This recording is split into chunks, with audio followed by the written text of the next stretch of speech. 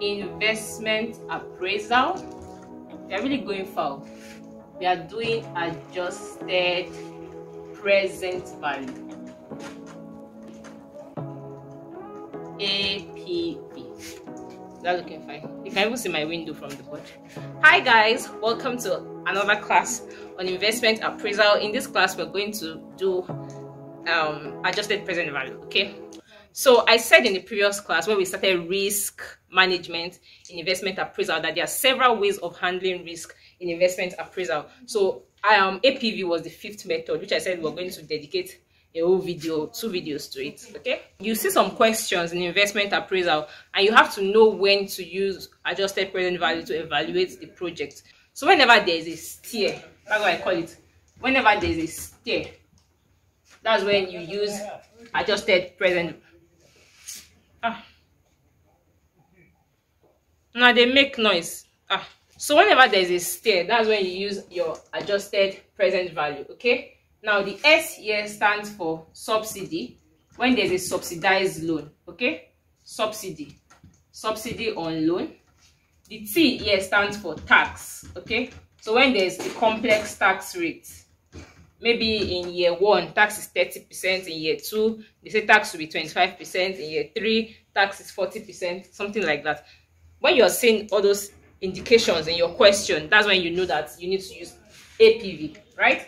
Whenever there's issue cost, if they tell you that there's issue cost, this R stands for risk okay? Which is even the main reason for apv now. You know apv is a method of risk management in investment appraisal. So when they're going to do a new business of course there will be a new operational risk which is a new business risk right?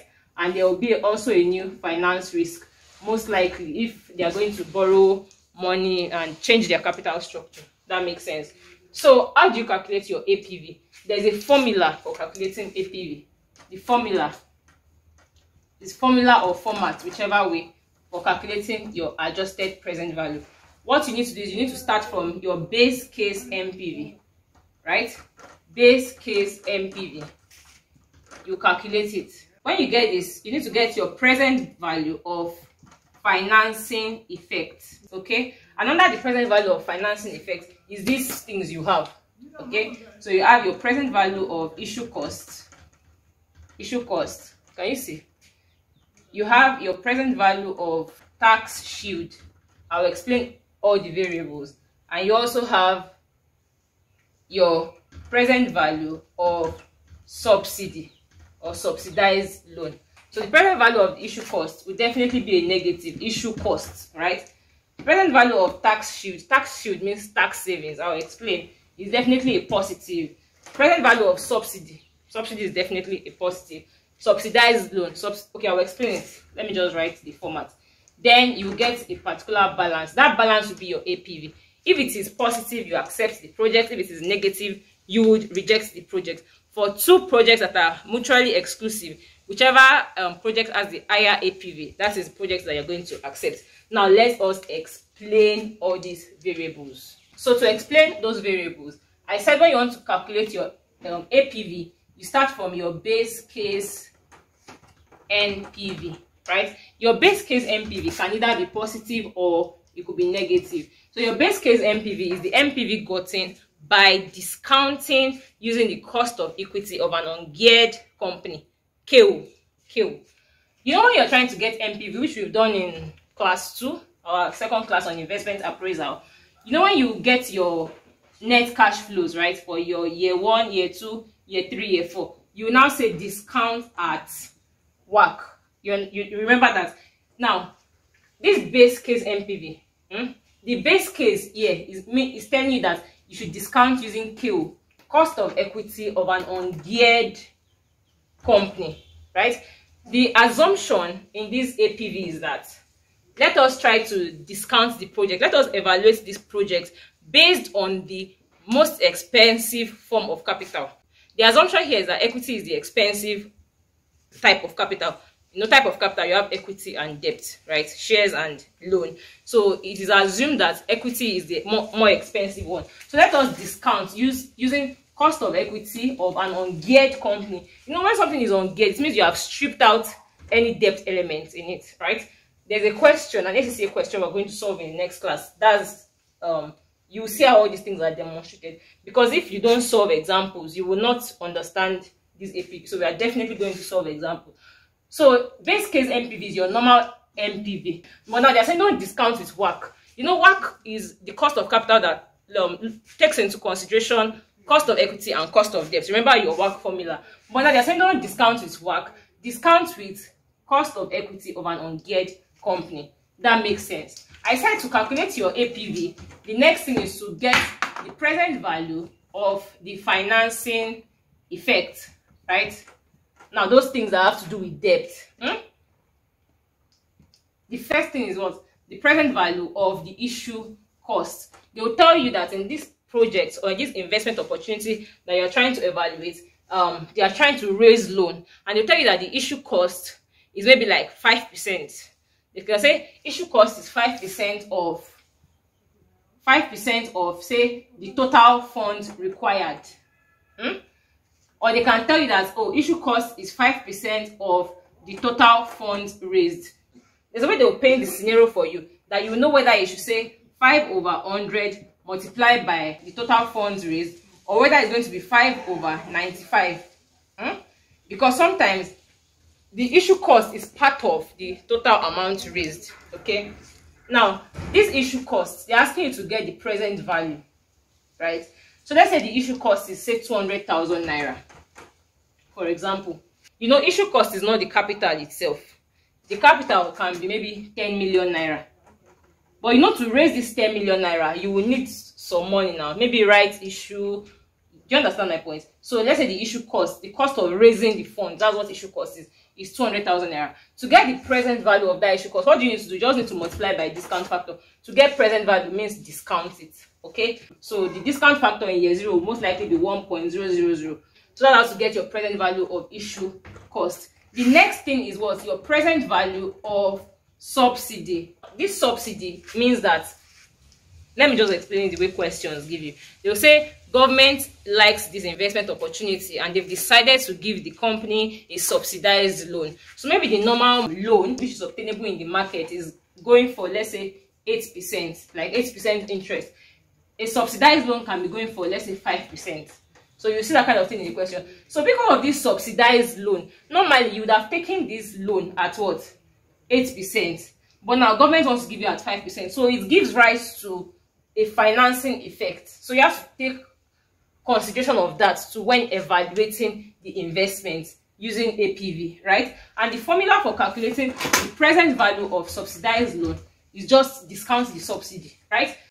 Subsidized loan into 1 minus T, right? Must be post-tax multiplied by normal rate, that's that 8%, minus the subsidy rate, Can you see?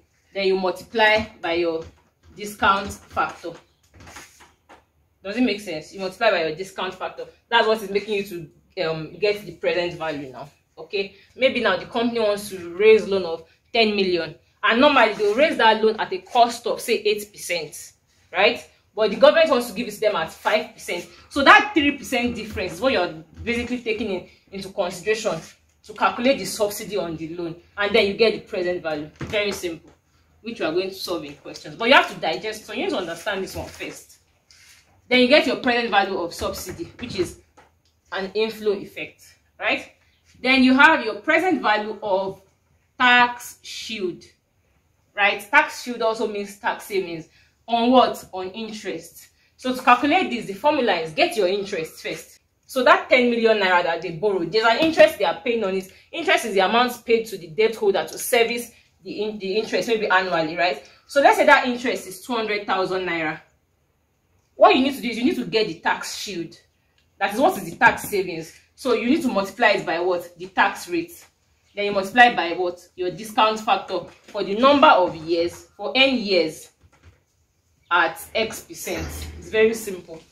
Just follow the sentence present value of tax shield on interest. What you need to do is to get your interest first. So that the formula is what? Interest multiplied by what? Your tax rate, right? Multiplied by discount factor. Why, why are we saying discount factor of n years? Because your um interest is payable every year right so sometimes they can tell you that this tax is payable one year in arrears or they can tell you that tax is payable in the year that profits are made. You, we've already done that in previous classes right? You have year one year two year three year four year five. So if you have all this as your what? Cash inflow and you want to now charge tax on it these are your net cash flow. You want to charge tax. You know if the tell that it's paid one year in arrears means tax of year one will be applied in year year two. Tax of year two will be applied in what? Year three year four year five so it seems like year five tax will extend towards year six okay? So in that at that point you use delayed annuity. You will delay your annuity. And do you know how to calculate delayed annuity? I don't even know. If i should make a separate video on that one. But it's just okay let me just talk about that by the side. So to calculate your delayed annuity wait we already know the formula for this present value of tax shield right? Because sometimes in questions they, they, they will tell you that tax payable one year in arrear right? So you use delayed annuity when your tax is usually one year in arrear. So let's say you have gotten your interest as 200,000 200,000 every year okay? Your interest not if it's 200,000 200,000 naira every year as your interest you know that means bullet payment. Sometimes you might have to do amortization table. So once you calculate your tax rate on your interest you have this to be say 60,000 naira this is what you are looking for. Your tax savings right? On interest. Now you need to get the present value. Because every year you claim this tax savings. And you know remember the concept of tax savings? Tax savings is gotten when there's a tax deductible item. Because this interest is is tax deductible. Is exempted from profit before applying tax. So that effect gives rise to a tax savings. Okay? And tax savings is an inflow effect. Do you understand so now let's now try and get the present value of this. So if you have this 60,000 in year one say 60,000 in year one 60,000 in year two 60,000 in year three and 60,000 in year four right? But they're telling you that it should be one year in arrears. You need to apply your tax one year in arrears. So if you want to discount this type of thing now you, your discount factor maybe you're discounting at say 10 percent right so 0 0.909 will be in year one 0. Point, um say 82 something 0 0.715 0 0.683 like that. Year one to year four. So th this one that is going to be in year one because it is one year in arrear it won't be applied in year one it will be applied in year two right? It will be applied in year three it will be applied in year four. That's year three zone being applied in year four. Therefore it will extend to year five because year four zone will be applied in year five. So it means you need a discount factor for year five right? So because you're not going to be doing this thing one by one because it's constant cash flows and whenever you have constant cash flows you need to do cumulative discount factor. So what you now do in that point i just pray it out for you to understand. What you do in that instance is for you to say what? 60,000 multiplied by cumulative discount factor at 10 percent right? For four years. You see that in your annuity table maybe it's like three point some some something. Hmm? multiplied by discount factor at 10 percent hmm, for preceding year. Preceding year and that preceding year is year one. Year one's discount factor right? So you multiply by let's say 0 0.909 that will give you your what? Cumulative discount factor for year two to year five where tax is actually applicable. So that means that you've already gotten the like you've already removed year one. This method is actually the multiplication method you are multiplying. You can also use the subtraction method right? Because what you're trying to get is cumulative discount factor because you have constant cash flow this one is just by the way. So you say you can also say what? 60,000 multiplied by cumulative discount factor at 10 percent for five years. That's for year one to year five right? You check that you sit in your next table 10 percent under year five it will give you maybe four point something something something. Then you say minus discount factor at 10 percent for year one. That's like 0 0.909 by the time you deduct it that's the subtraction method. You get your cumulative discount factor for year two to year five. All you need to do, do was to deduct remove out year one because tax is in arrears. I don't know if it makes sense but it makes sense. I, I believe it makes sense. So i've already explained everything under um, apv that's already the formula. So the next thing we have to move into is to solving questions which i'm going to solve in the next class okay